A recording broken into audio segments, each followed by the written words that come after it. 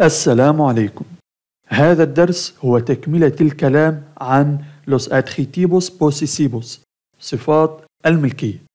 في الدرس السابق تكلمنا عن صفات الملكية للضمائر you, tu, él, ella, usted أما صفات الملكية مع بقية الضمائر هي كالتالي. بالنسبة للضمائر nosotros والتي معناها نحن للمذكر ونصوتراس نحن للمؤنث إذا كان الشيء المملوك مع هذه الضمائر شيء مفرد مذكر تكون صفة الملكية نويسترو. فأنا أريد أن أقول صديقنا صديق أميغو كلمة مفرد مذكر صديقنا نويسترو أميغو. أخانا أو أخونا nuestro hermano. أما إذا كان المملوك أي الشيء الذي أريد التحدث على أنه يخصنا أو هو ملكنا إذا كان هذا الشيء مفرد مؤنث نستخدم صفة الملكية نويسترا أخت إرمانا.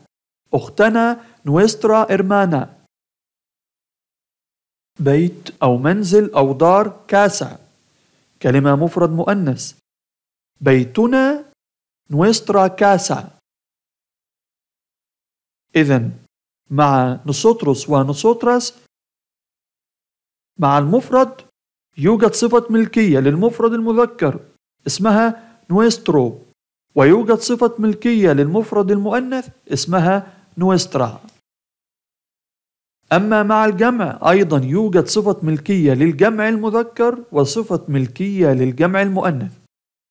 مع الجمع إذا كان الجمع جمع مذكر تكون صفة الملكية نويستروس.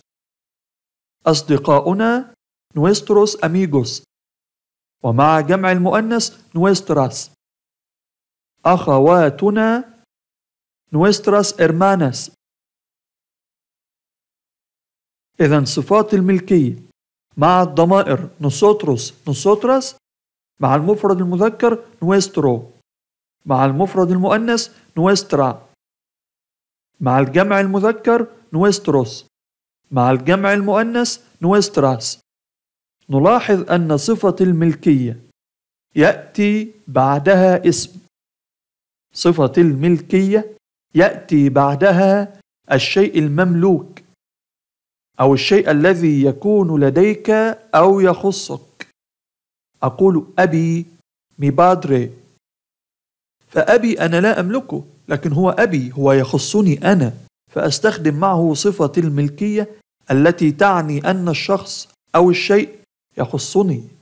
فصفات الملكية لوس adjetivos بوسيسيبوس لو أطلقنا عليها اسم آخر باللغة العربية قد نسميها صفات الخصوصية. ملحوظة. لما نقول أختنا nuestra hermana سواء الذين يتحدثون نحن للمذكر أو نحن للمؤنث يعني إذا كان المتحدثون ذكور نسوتروس وأرادوا أن يقولوا أختنا سيقولوا nuestra hermana وإذا كان المتحدثون مجموعة بنات فيستخدموا نحن للمؤنث نسوتراس وأرادوا أن يقولوا أختنا يقولوا نويسترا إرمانا. أيضا لا يوجد تغيير. باختصار شديد صفة الملكية. لا علاقة لها بالمتحدث سواء مذكر أو مؤنث. وإنما صفة الملكية تتبع الشيء الذي يأتي بعدها. فلما نقول صديقنا نقول نويسترو أميغو نستخدم نويسترو لأن أميغو هي كلمة مفرد مذكر. صفة الملكية تتبع الاسم الذي يأتي بعدها. إذا كان الاسم أو الشيء المملوك مفرد ستكون صفة الملكية مفرد. وإذا كان جمع ستكون صفة الملكية جمع. وإذا كان مذكر ستكون مذكر. وهكذا. صفة الملكية تابعة. للإسم الذي يأتي بعدها. نعود مرة أخرى لصفات الملكية. صفات الملكية مع vosotros vosotras هي كالتالي مع المفرد المذكر vuestro مع المفرد المؤنث vuestra مع الجمع المذكر vuestros مع جمع المؤنث vuestras.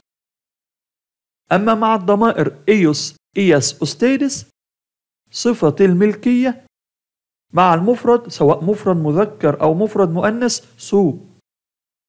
وصفة الملكية مع الجمع سواء جمع مذكر أو جمع مؤنث سوس. سوس.